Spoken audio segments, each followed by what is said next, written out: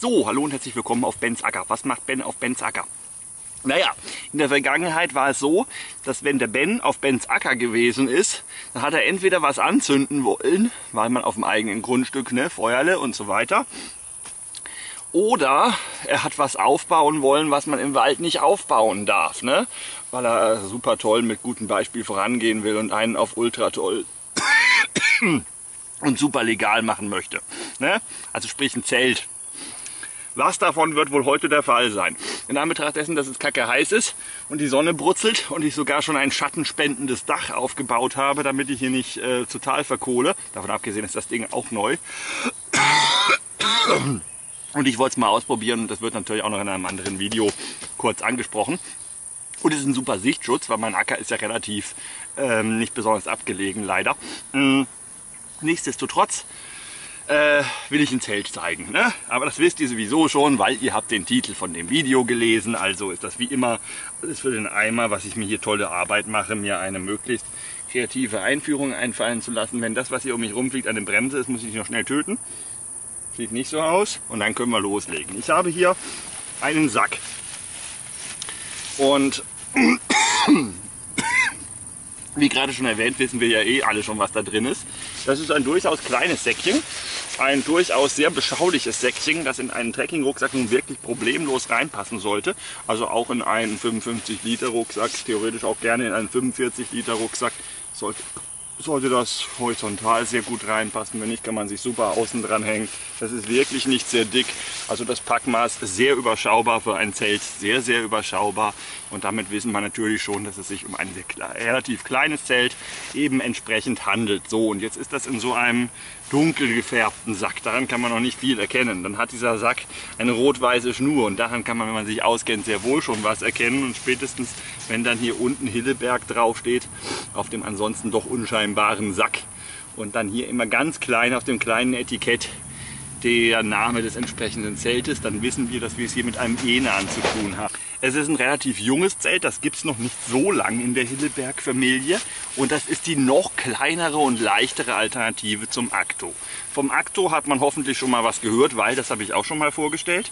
Ähm, das besitze ich ja selber und muss es mir nicht erst schnorren und ja, das war bisher eigentlich das Ein-Personen-Zelt von Hilleberg. Die haben ja noch ein paar Alternativen, so ein bis zwei Personenzelte und so weiter, aber das mit Abstand meist verhökerte Ein-Personen-Zelt zum normalen Wandern für so, so ziemlich eine komplette Bandbreite an möglichen Ansprüchen war bisher das Akto. So, und jetzt haben sie aber für diejenigen, denen das Akto noch zu schwer ist, weil gerade heutzutage so ein paar Zeltchen dann nach dem Akto produziert wurden, die da nochmal erheblich leichter gewesen sind. Damals, als das Akto noch neu war, ich weiß es, weil ich habe noch eins der ersten Generationen, ähm, rumfliegen. Damals, als das Ding noch neu war, war das mehr oder weniger das einzige und leichteste Ein-Personen-Zelt, was du auf dem Markt überhaupt kriegen konntest. Jetzt ist es inzwischen ein für ein Ein-Personen-Zelt zwar immer noch ein leichtes, aber kein besonders super leichtes mehr, kann man wirklich nicht mehr behaupten. Liegt halt daran, dass die Ultralight-Szene in den letzten Jahren dann doch halt immer mehr gewachsen ist. Jetzt ist das Akto allerdings derzeit so ziemlich das robusteste vier Jahreszeiten Ein-Personen-Zelt. Gut, also den Platz des äh, wir haben das leichteste Ein-Personen-Zelt auf dem Markt, das gleichzeitig noch super bequem und äh, vergleichsweise geräumig und super komfortabel und vergleichsweise äh, robust und so weiter und so fort ist. Den Platz dürfen sie nicht mehr ganz beanspruchen, die guten Damen und Herren von Hilleberg, weil es gibt leichteres. Alles andere stimmt möglicherweise durchaus noch. Da kann man sich entsprechend streiten, aber das Aktu ist nach wie vor ein hervorragendes Zelt, gerade so die moderne Version davon. Ähm, mit dem Kerlon 1200 als Material. Da kann man immer so als, als, als, wie alt ist denn das, was man da jetzt da vielleicht findet. Das könnte man sich vielleicht sogar noch mal Gebrauch zulegen, wenn man da irgendwie günstiger dran kommt. Wirklich ein ganz, ganz tolles Zelt. Äh, potenziell hebt das dann auch ewig. Die ganz alten waren noch nicht ganz so toll, aber mit dem Kerlon 1200, das war schon, ist schon, ist schon wirklich was super Tolles. So, aber wie gesagt, das Ding ist nicht super mega ultra leicht. Es gibt schon noch mögliche leichtere Zeltalternativen. Ne? Und die haben sie dann im Enan gefunden. So ein Enan ist schon äh, quasi eine Weiterentwicklung des Aktos, also aus dem Akto heraus entwickelt zum noch etwas leichteren Wanderzelt. äh, für drei Jahreszeiten, nicht für vier Jahreszeiten. Mit dem Akto kannst du auch im Winter draußen pennen und das geht vergleichsweise gut. Da gibt es so ein paar Spezifikationen, auf die wir dann noch eingehen werden, die man halt eben braucht, wenn man im Winter zelten möchte, beziehungsweise die da sehr, sehr, sehr hilfreich sind. Ja, wer, wer ganz hart ist, kann ja auch im Winter mit dem Tarp draußen pennen. Das geht auch. Nur, ja, ist es halt vielleicht nicht unbedingt jedermanns Sache. So, äh, nochmal etwas minimalistischer von der Grundfläche her noch mal so ein ganz kleines bisschen kleiner und wirklich ein Ein-Personen-Zelt. Und diese eine Person, nach dem, was ich mir habe sagen lassen, was ich recherchiert habe und was ich wahrscheinlich jetzt auch gleich selber erleben werde, also das ist ein Ersteindruck, ich baue das Ding zum ersten Mal auf, ich habe mich aber trotzdem sehr schlau darüber gemacht, ähm, ähm, ist, dass das vielleicht doch ein bisschen klein sein könnte für einen 1,90 Menschen. 1,89 offiziell. Ähm, So, dann sollte ich vielleicht noch kurz erwähnen, wo habe ich das her? Naja, ich habe das Glück, der eine Mann auf dem Planeten zu sein, der sich Hilleberg-Zelte mal eben bei seiner Freundin ausleihen kann. Edge. Edge. Was können sich andere Männer bei ihrer Freundin ausleihen? Tampons zum Feuer machen. Das kann ich bei meiner auch. Aber ein Hilleberg-Zelt, nein, das könnt ihr euch nicht bei eurer Freundin ausleihen. Das kann nur ich. Haha. ja, äh, und äh, sie ist damit unter anderem den nördlichen Kungsläden vollständig abgelaufen, am Stück wohlgemerkt. Die Frau ist plemplem.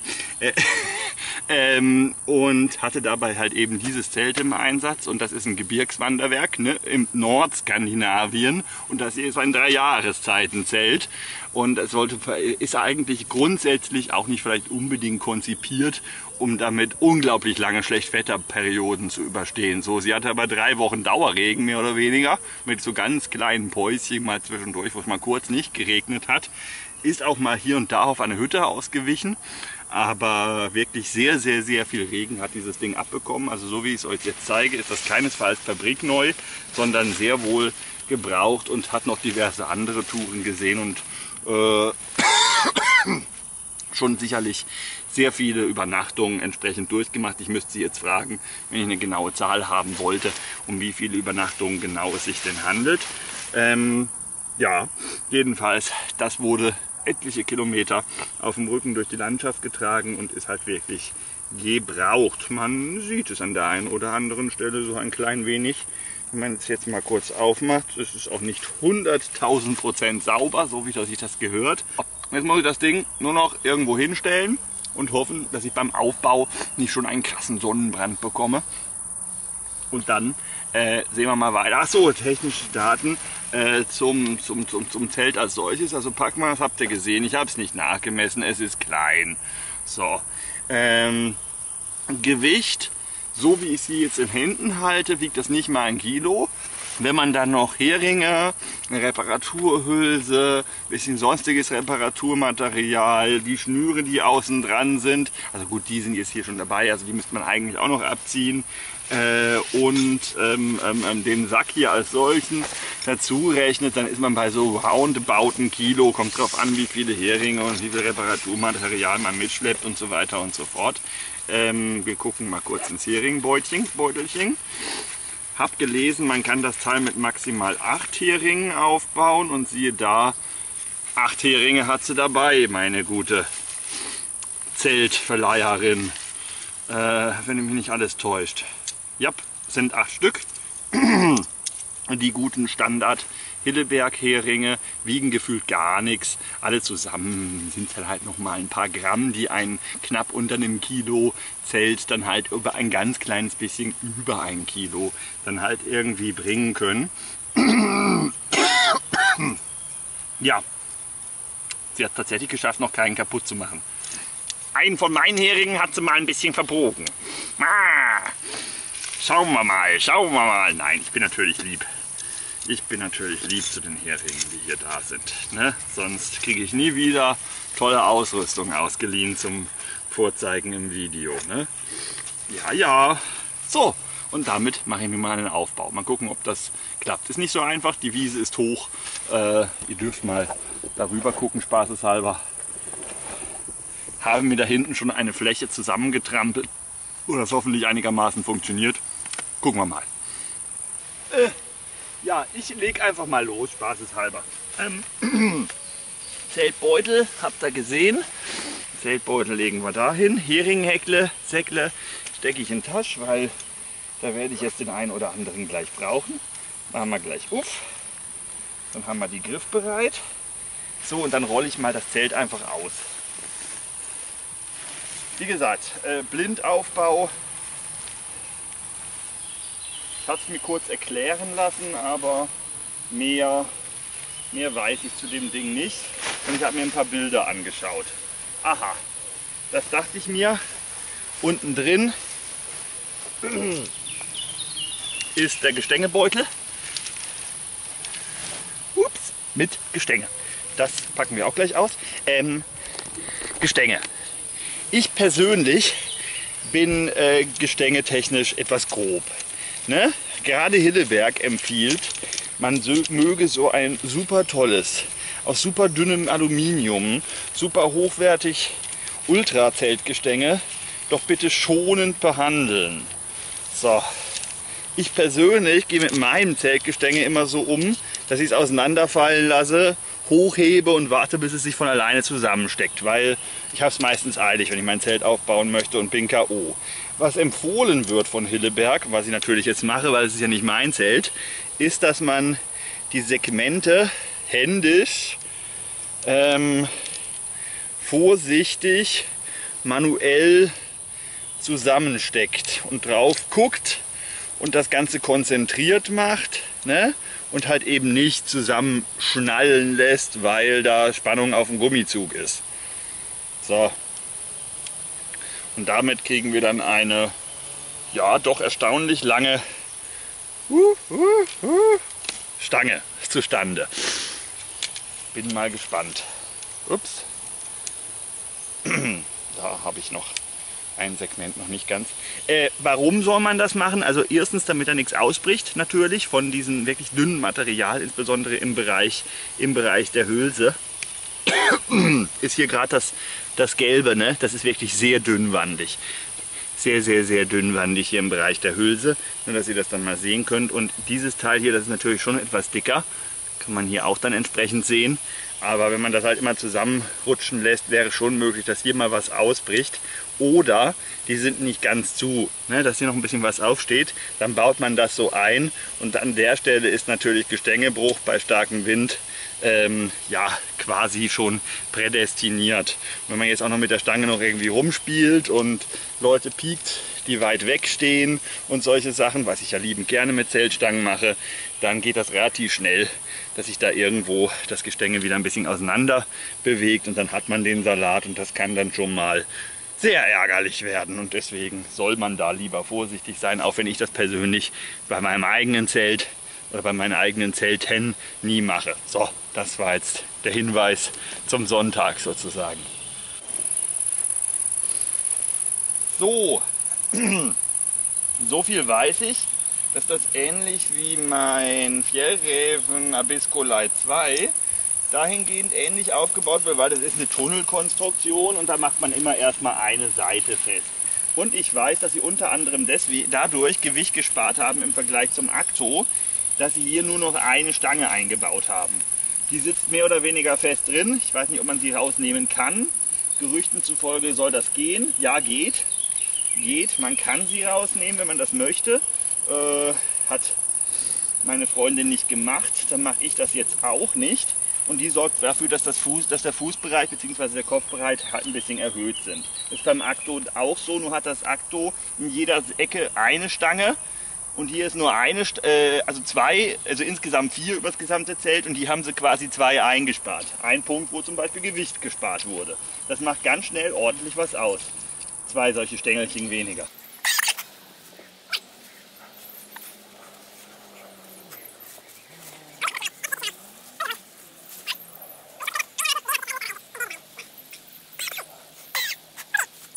Dann können wir das mal hier ein bisschen auseinanderbauen. Was ist das für eine Strippe? Wieso liegt da so eine Strippe oben drauf? Interessant. Ah, das ist die Bodenstrippe. Wieso ist jetzt die Bodenstrippe außenrum gewickelt? Das verstehe ich nun wirklich nicht.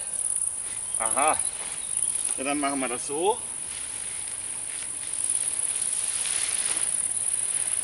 Hat da jemand sein Zelt nicht richtig zusammengepackt?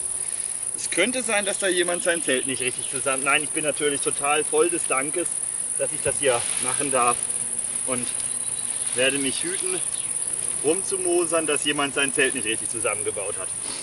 Die Seite, an der Gestängekanal offen ist, ist üblicherweise die Seite, an der Gestänge reinkommt. ist aber interessant, farblich nicht markiert. Das finde ich relativ genial bei den Ferienzelten, dass die Stelle, wo das Gestänge rein soll, nochmal farblich markiert ist, damit man das auch ja nicht übersieht. So, üblicherweise zieht man das Zelt über die Stange und schiebt die Stange nicht mit Karacho in den Gestängekanal, weil dann könnte der Gestängekanal theoretisch durchstoßen werden. Das ist zwar unrealistisch, könnte aber passieren und insbesondere bei nicht dem eigenen Zelt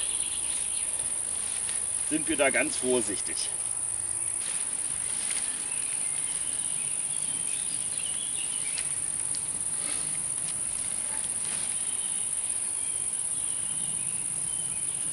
So, und wenn man das dann da drin hat, befindet sich hier so ein Bändelchen, wo man das dann noch anziehen kann, damit das äh, auch dann schön den richtigen runden Bogen macht, das gute Gestänge. äh, so. Ich hoffe, man sieht mich noch. Ich gucke gleich wegen Kamera. So ein Video wäre natürlich praktisch, wenn man jetzt eine Kamerafrau hätte. Aber sie ist ja nicht da. Deswegen muss ich das ja ohne sie machen. Wäre natürlich generell praktisch, wenn sie da wäre. Hat nur Vorteile. ja, aber äh, der Gestängebogen, der steht soweit. Beziehungsweise der Gestängebogen steht natürlich nicht, er liegt. Ne? Ähm, aber das Gestänge ist drin. So, jetzt müssen wir das Ganze noch hochspannen. Und dann ist es eigentlich fast fertig. So, wenn ich das richtig vermute, äh, richtig interpretiere, Upsa. Und nicht fallen lassen.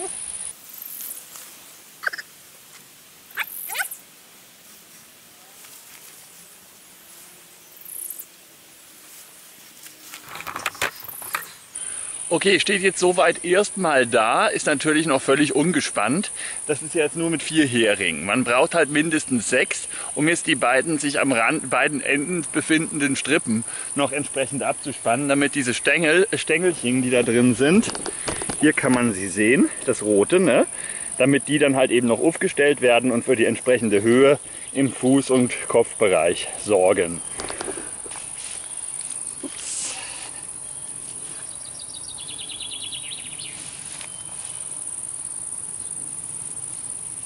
Einmal. Und das machen wir jetzt noch auf der anderen Seite. Das braucht ihr da nicht anzugucken. Dann gibt es hier seitlich vom Gestängebogen jeweils noch eine Abspannmöglichkeit, die ich, ich denke mal, in 80 Prozent aller Nächte wahrscheinlich nutzen würde. Die ist beim Akto auch. Kommt einem bekannt vor, wenn man ein Akto lange Jahre verwendet hat. Ganz schnell und einfach abgespannt.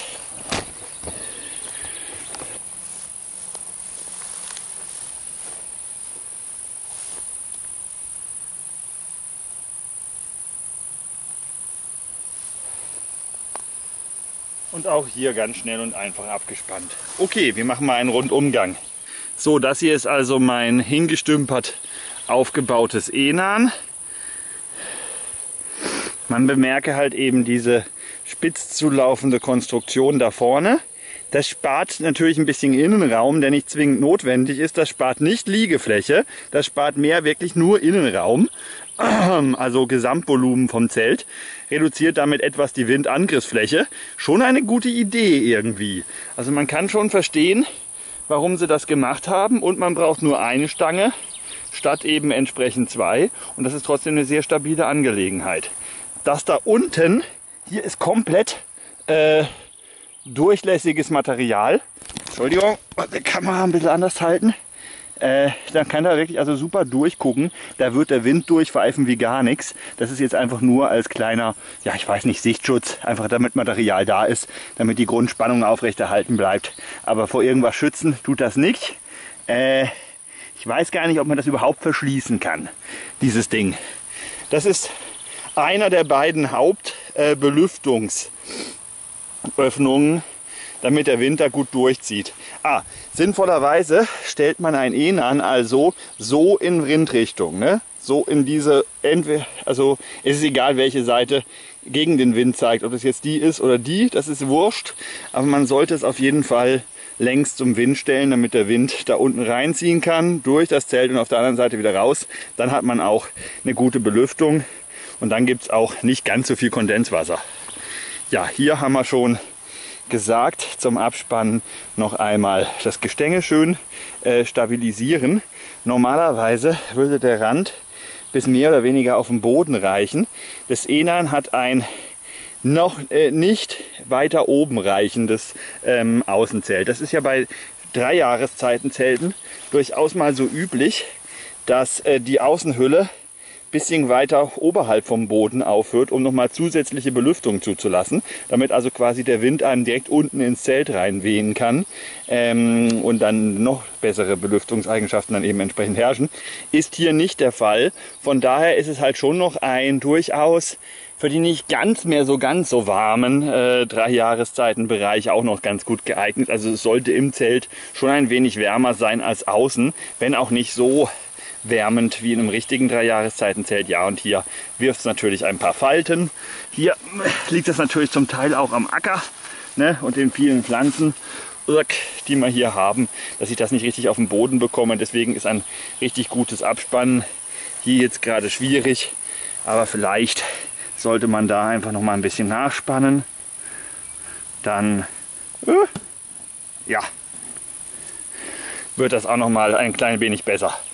Aber das ist eigentlich im Grunde schlecht aufgebaut, wenn man so viele Falten da hat. Ne? Auf der Seite nicht ganz so schlimm, aber auch hier liegt es halt wieder am Gras, dass, dass das nicht ganz runter geht und dann schmeißt halt automatisch Falten. Ja, Lüftungskonzept auf der anderen Seite genau das gleiche wie auf der Vorderseite. Und jetzt suchen wir mal den Reißverschluss. Wir haben ihn gefunden. Hier befindet er sich. Oh, sehr schön, sehr schön gemacht finde ich diese Abdeckleiste. Das ist hervorragend. Das ist ja wirklich super. Und dann mal gucken. Hier unten kann man, glaube ich, den Reißverschluss auch festmachen, damit der sich nicht aus Versehen irgendwie löst. Je nach Situation ist das auch mal ganz nützlich. Machen wir mal auf. Reißverschluss hier leichtgängig, war auch nicht anders zu erwarten. Es ist trotzdem ein vergleichsweise filigraner, einfacher Reißverschluss. Es soll ja ein leichtes Zelt sein. Und es befindet sich dann da am Außenzelt noch so ein Noppel, wo man das aufgerollte Zelt, also die Tür sozusagen, einhängen kann, damit das dann offen bleibt. Das ist ja auch bei so ziemlich jedem Zelt so. Wäre seltsam, wenn das beim Enan irgendwie anders wäre. Ja, ja, bewährtes System. Hilleberg-Zelte sind halt Hilleberg-Zelte. Das ist alles sehr bewährtes System. So, und jetzt kommen wir zu einer Besonderheit, die dieses Zelt eben als Dreijahreszeitenzelt kennzeichnet. Und zwar, äh, ah, nicht mal die Kamera kann man hier vernünftig hinstellen auf dem Boden. Und zwar ist das hier nur Meshgewebe, also nur Mückennetz. Man kann da nicht noch irgendein anderes Material davor spannen. Äh, das Mückennetz ist nicht abdeckbar. Das ist nochmal um Gewicht zu sparen, nochmal um die Belüftung zu erhöhen, die äh, Wasserdampfdurchlässigkeit noch mal ein wenig zu steigern, damit das da halt eben schön luftig entsprechend drin bleibt. Ja, und man hat halt äh, aber auch weniger Isolierung und je mehr da natürlich überall die Luft durchgeht, desto mehr kann da auch der Wind ins Zelt reinpfeifen. Schön finde ich, dass die Tür mehr oder weniger komplett aufgeht. Das kann man dann gerade nach da hinten schmeißen, theoretisch. Ja, und dann hat man dann den Innenraum. Oho. Ja, sehr interessant. Ich gehe mal rein und hole euch dann nachher nach. Blub. Schön die Schuhe ausziehen.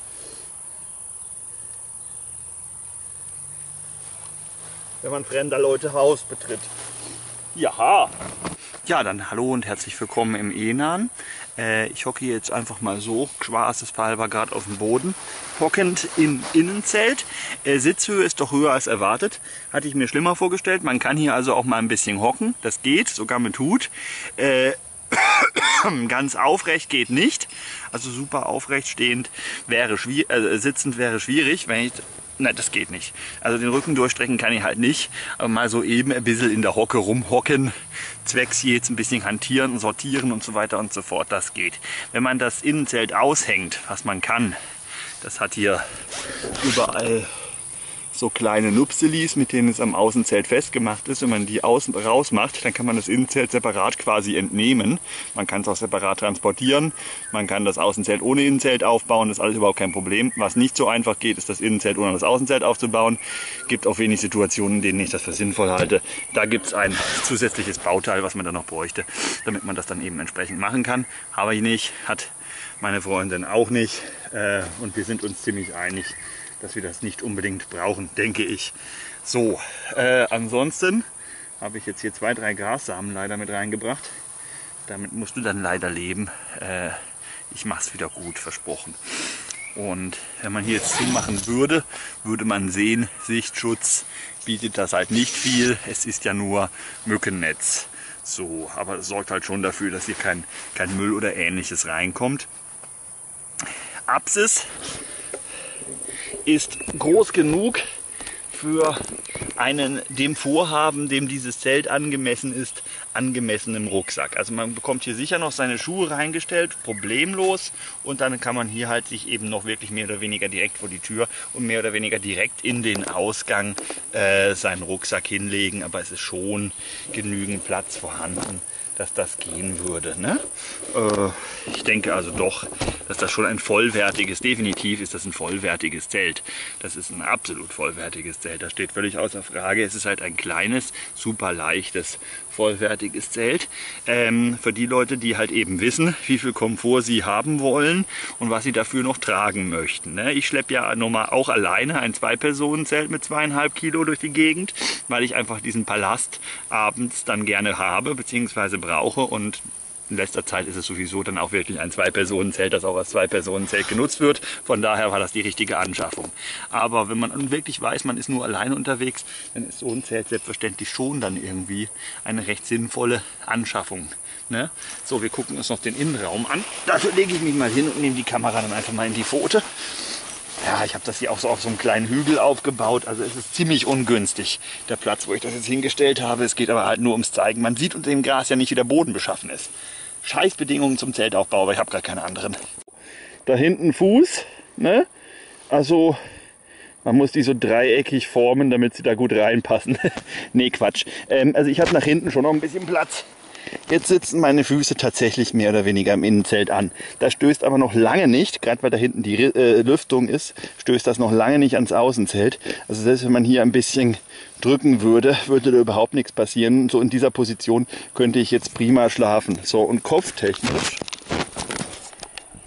äh, seht ihr, ich habe mit Hut noch reichlich Platz zum Kopf bewegen, also so rein zum Liegen. Auch für mich mit meinen 1,89 Meter wäre dieses Zelt schon groß genug.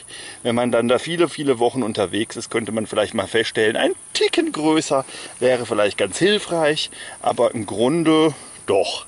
Also im Grunde definitiv. Es gibt hier noch, auch noch mal schön zu sehen, eine kleine Netztasche, zwei um genau zu sein, wo man noch ein bisschen Kleinkram unterbringen kann. Zum Innenzelt sortieren. Da oben gibt es noch Möglichkeiten, sich Sachen an die Decke zu hängen, zum Beispiel eine Lampe, Socken, auch ein Klassiker.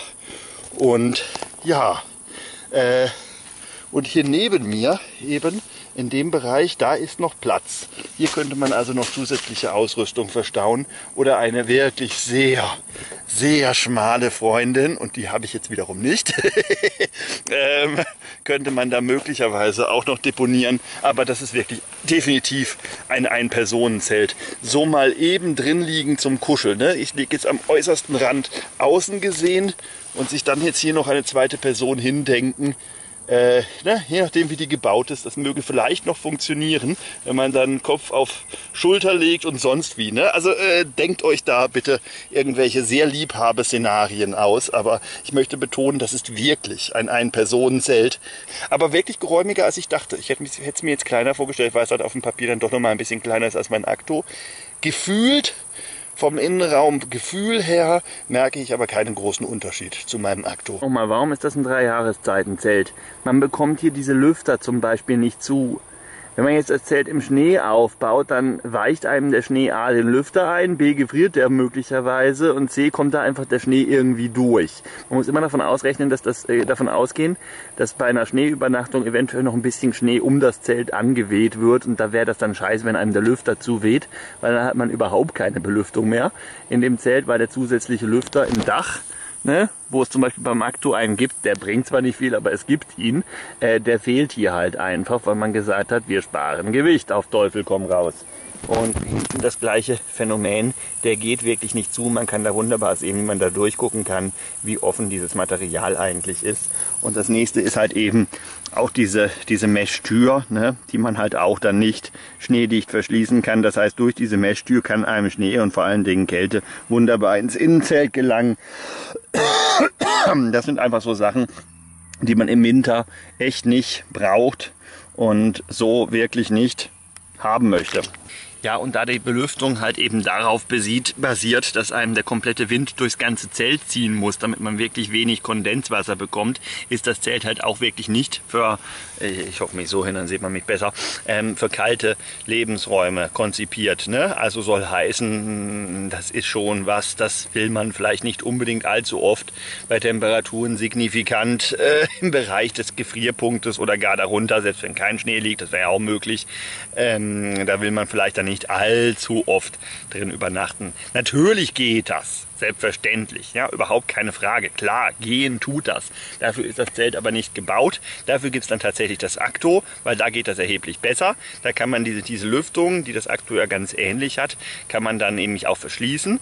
Und dann ist das ganze komplette äh, Gebilde dann natürlich auch entsprechend schneedicht und man hat noch zusätzlich den einen Lüfter im Dach, dass man wenigstens noch ein bisschen, ähm, ja, äh, äh, Gasaustausch eben entsprechend mit der Umgebung betreiben kann. Und diese Tür hier, die hat nur ein Teil Mückennetz und das, was da ist, lässt sich auch nochmal zusätzlich verschließen. Dann weht es auch nicht so sehr ins Innenzelt.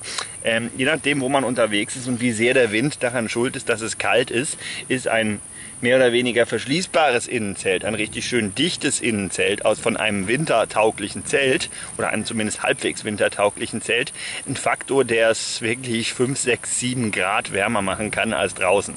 Insbesondere, wenn es sich dann um ein Zelt handelt, wo man nicht alleine drin pennt, dann wird es wirklich rucki super schön kuschelig, wenn dann alle beide im Zelt sind und man braucht dann auch deutlich weniger Klamotten, als man es zum Beispiel bei, gleichen, bei den gleichen Außentemperaturen draußen brauchen würde. Das ist halt schon nochmal so ein gewisser Treibhauseffekt Effekt, der in so einem Zelt auch herrscht. Deswegen wird es hier jetzt auch super warm drin, einfach weil die Sonne scheint. Aber das ist halt nochmal ein krasserer Effekt, wenn man ein geschlossenes Innenzelt in einem äh, Zelt hat, das auf Warmsein ausgelegt ist.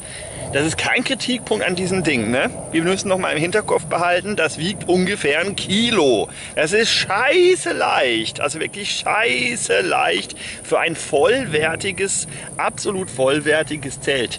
Ähm, Spezifikation von Material und noch so ein paar technische Daten und ein paar Dinge zum Hilleberg generell erzähle ich jetzt gleich noch. Jetzt gucke ich mal, dass ich hier wieder rauskomme, bevor ich äh, anfange zu saunieren und mir einen Aufguss mache und dann kriege ich nämlich Ärger, mhm, wenn ich hier drin einen Aufguss zu machen anfange. Also besser raus.